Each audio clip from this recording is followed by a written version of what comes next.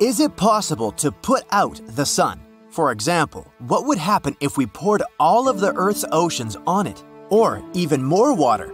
Well, let's find out.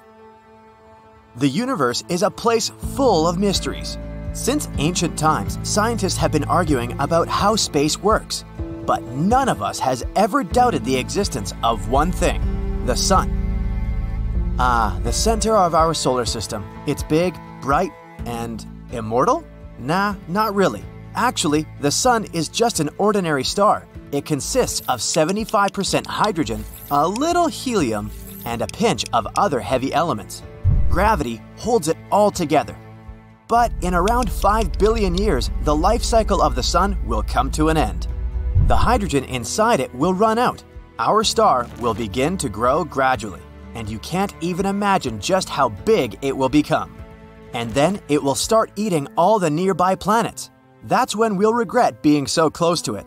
After eating us all, the star will remain a red giant for another billion years or so.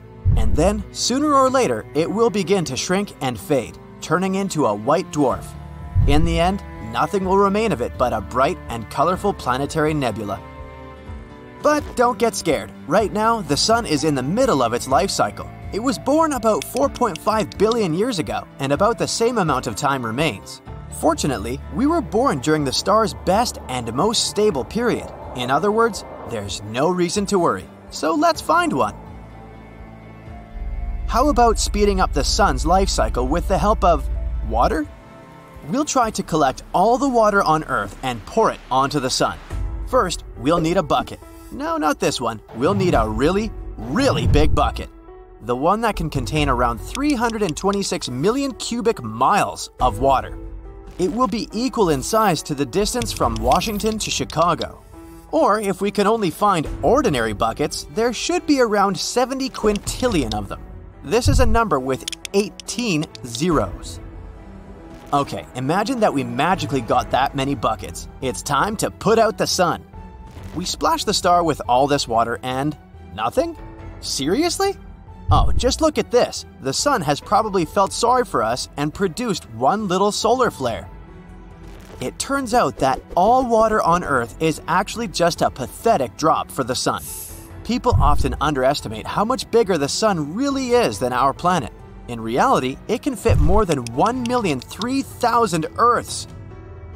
So, yes, the sun won't go out or even get colder. It won't even notice that we've done something. But let's not give up.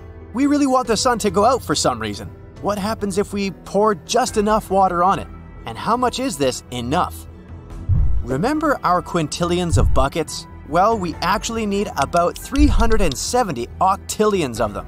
This number has 27 zeros. It's hard to even imagine, so let's just say that it's a lot of water. Now, let's splash it all over the sun again. Wow, just look at the steam! But the sun hasn't gone out again. On the contrary, it said thank you and suddenly became much bigger and brighter. What's happening?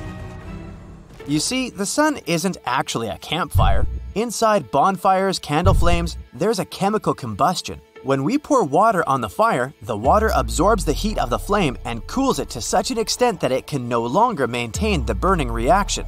It also blocks the fire's access to oxygen. Water basically stops the chemical process. But the burning of the sun isn't the same reaction. Even though we say it burns, it's not entirely true.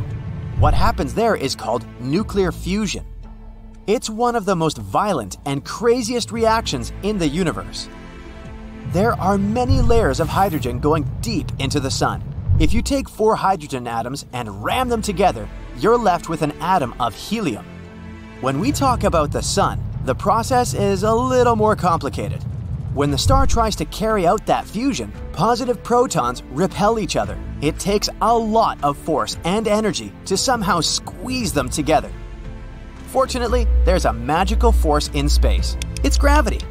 The sun takes up 99.8% of all the mass of the solar system. Pretty heavy, right? And all this mass is what holds the sun together with the help of an incredible gravitational force. So, gravity takes quadrillions of these little hydrogen atoms and pushes them together every second of every day. And when they collide, they release some energy. So, unlike fire, the sun doesn't need oxygen to live. It needs hydrogen. And we all know that water is H2O. It consists of hydrogen and oxygen. So this is literally fuel for the sun. It's like trying to put out a fire with gasoline. More importantly, the extra mass added by water will make the sun heavier. Now, gravity says, Thank you for your help. And then it starts to collide protons with each other even faster. And thanks to this, the synthesis speeds up.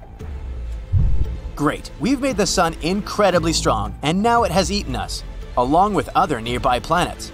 And if we keep adding water, the sun will sooner or later collapse in on itself. It will blow off its outer layers and become a black hole. Awesome! Now it will pull inside absolutely everything around. Good job, guys. Let's press rewind because clearly our water experiment was a mistake. One small solar flare sounds much better. Alright, we're back to our usual calm sun. But it seems like there's something that we've forgotten. Well, apparently, water was critically important for life on Earth. Who would have thought? Now there's a huge amount of unmoving fish and other marine creatures lying around where the oceans used to be. Poor things. As for deep sea creatures, they simply didn't withstand such a sharp change in pressure. Algae and corals have also dried up. Wait a minute, weren't they responsible for producing 50 to 80% of the world's oxygen? Oops, it's time to put on some oxygen masks. And how are things on dry land? I mean, now everything is just land. But you get the point. Wow, this whole place is lit, and I mean it literally. If there are no oceans, then there are no clouds or rain. Now there are forest fires everywhere. Poor animals have to escape and leave their homes. Oh my. And it's not like they'll be able to find a new home, because all plants, of course, will dry up quickly. There will be literally no place for living left on the planet. So now Earth looks like a giant desert. Great! But people have been living in deserts for thousands of years, right? Maybe they'll know what to do. They won't. After all, people in the desert also need to drink. So now there's total chaos everywhere, and survivors fight for the last drops of water. If there are any survivors at all. In fact, no matter how much they fight for resources, their fate is sealed. The ocean absorbs a huge amount of CO2 and the heat coming from the sun. They also distribute this heat throughout the planet, making it pleasant to live on. But once they're gone, the temperatures will quickly jump to 250 degrees Fahrenheit and above. But even if we forget about the high temperatures, now we have no clouds, and they helped us too, by not letting through solar radiation. So we're also under the direct impact of the sun's rays. Our last hope is icebergs. Now that everything is terribly hot, they've melted. And maybe they'll be the last hope for humanity. But that cool solar flare was definitely worth it. Silly humans. That's it for today. So hey, if you pacified your curiosity, then give the video a like and share it with your friends. Or if you want more, just click on these videos and stay on the bright side.